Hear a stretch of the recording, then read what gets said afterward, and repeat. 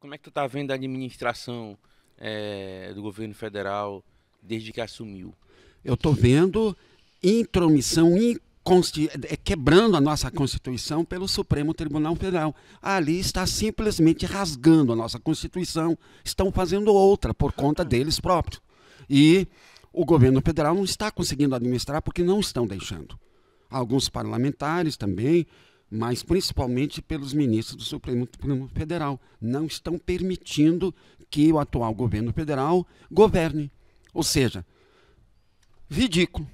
Estão fazendo leis, estão fazendo aquilo que não, não lhes compete. Eu acho que eles não estudaram direito, eles não estudaram a nossa Constituição, porque eles não estão sabendo julgar, não estão sabendo diferenciar entre poder executivo, poder legislativo e poder judiciário. Estão se metendo. Ora, Entendi. é só imaginar. Então, o governo federal também poderia se meter lá no judiciário e determinar certas coisas. Ver se eles deixam. Ah, olha, a Gardini até fez uma cara bem, bem interessante aí. É, eu, é. eu, concordo com você, mano. Pois eu é. Que o, que o, o problema tá não é ele, o problema são eles que não estão deixando ele governar. É, só que eu não acho que, que não tem uma culpa do governo federal, mas eu concordo com você na questão de que o STF está legislando. Está legislando. Isso é legal, mano. Ele não está mais julgando, ele está tá, fazendo leis. Lula tá, tá, tá candidatíssimo aí à, à presidência em 2022, apesar, né, de é. ter sido preso na Operação pois Lava Jato. Pois é, será, é no caso, se eventualmente, se por acaso né, ele fosse eleito, seria um ex-presidiário governando o Brasil, né? Entendi. Mas eu acho que ele seria lembrado como Mandela, talvez, na África. Tipo, para a história, né? Eu não estou falando que tá certo, que tá certo não. Uhum. Mas tipo assim, como seria para a história, né? É, na história ele seria um Mandela. A galera usa a blusa do Mandela e sabe nem quem foi o cara, pô, sabe é, nem que o cara foi é, preso. Exato, é, é, complicado, né? Complicado, mas é, então, simplesmente isso, não estão deixando o governo federal governar. Tu não acredita, num, por exemplo, numa terceira via, uma alternativa, tipo Danilo Gentili, Ciro Gomes. Luciano Huck, né? O cara que... lá do Novo, lá, como é que é? Tem um cara lá do Partido Novo É lá. o que tava da outra vez agora? É. Amoedo, né? Amoedo. João Amoedo. Esses caras, assim, da terceira via. Por enquanto, eu acho que do jeito que está, é o melhor. É por isso que eles não querem que fique melhor, porque eles querem o pior. Entendi. Então, na minha, para mim, né, do jeito que está, o governo federal, hum, com o presidente atual, tá bom. O problema é que eles não estão deixando governar, só isso. Então, para mim, não tem, no momento, uma outra opção alternativa melhor. Eu só vejo por aí pior.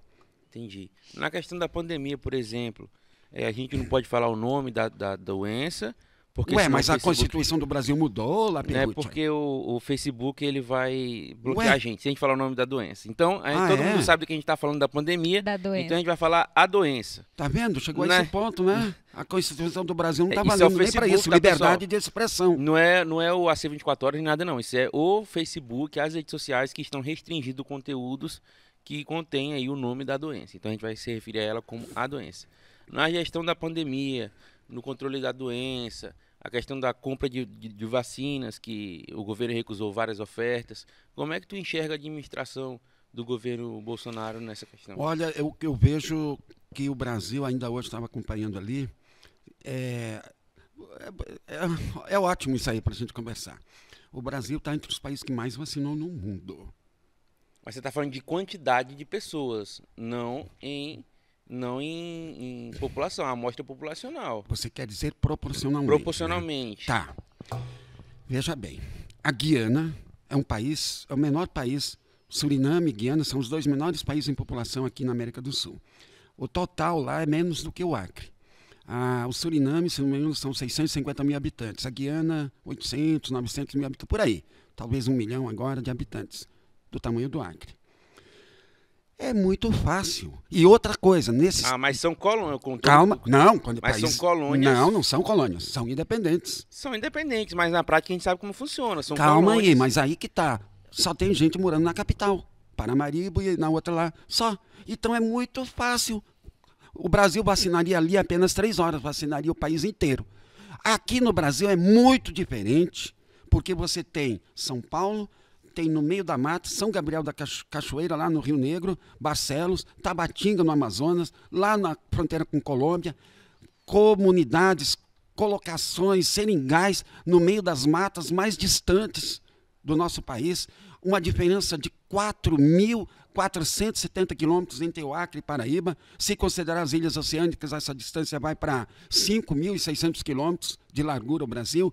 É bem diferente de um país que tem uma área, mesmo que seja maior um pouquinho, mas não tem essas dificuldades. Então você tem que ver todas essas dificuldades que o Brasil tem para conseguir. E assim, ainda assim, tá. por dia, vacina mais de um milhão de pessoas. Ou seja, ele, ele vacinaria o Uruguai inteirinho, que não tem um rio lá grande, a não ser aquele que faz fronteira com a Argentina, e, que é o Plata, Rio né? Uruguai. O resto é tudo vai rapidinho, chega num piscar de olhos. O Brasil vacina a cada dois dias um Uruguai. E a cada, a cada 12 horas vacina uma, um Suriname vacina uma. Tá, eu vou, vou, eu vou, eu vou concordar pra, eh, com você com um termo para a gente é, passar para um exemplo que, tipo assim, ó. É difícil vacinar o Brasil, Sim. tem colocação, tem seringal, mas é muito mais difícil quando você nega a compra de vacina, né, mano? Mas eu não vejo por aí. Eu não vejo por aí. Por que não se fala isso dos outros países? Que, como que eles conseguiram vacinar menos? Porque por exemplo, o Paraguai. Nosso, porra. O gente, Paraguai. Porque a gente votou no nosso Sim, presidente. mas aí é que está, fazendo comparações, porque a gente tem que ver, nada se pode falar sem poder comparar. Hum. Não é igual o clima. Ah, você, o Acre é quente. Você sabe o que é calor? O calor do Acre tira gosto do que tem por aí. Ah, mas aqui tá não sei aquela Da mesma forma com relação a essas vacinas, né? Você tem que ver, ler e entender o porquê é, das coisas. Em compensação, o Brasil é o único país da América Latina que já já já está fabricando vacina própria, 100% nacional em tudo. Já está estocado. Está só esperando a liberação da Anvisa. Mas assim, o que, é que tu acha da atitude da recusa? É, a atitude entendeu? da recusa. Atitude da recusa do presidente. Eu te, teria que ver os detalhes, tá? Entendi. Porque a imprensa, em geral, não mostra o porquê para poder mas né? teve a Fala. Pfizer, né, que ele recusou várias vezes, depois aceitou, não foi? Isso. É, são, foram 12 vezes, eu acho. 12, né? 12 e agora vezes. por último que veio. Mas tá aí, o Brasil tá vacinando disparadamente. e uso dia. de máscara? Você usa máscara? Nunca usei. E pegou Covid? Se eu peguei, eu não sei. Eu e toda uma equipe de, de pessoas, mais de 100 pessoas, é, jovens, idosos, nunca usamos.